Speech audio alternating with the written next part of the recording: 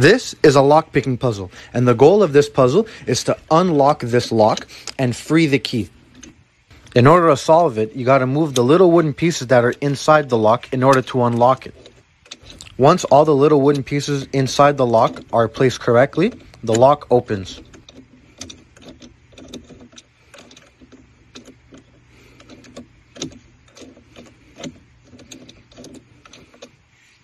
And just like that, the lock was opened and the key is now free.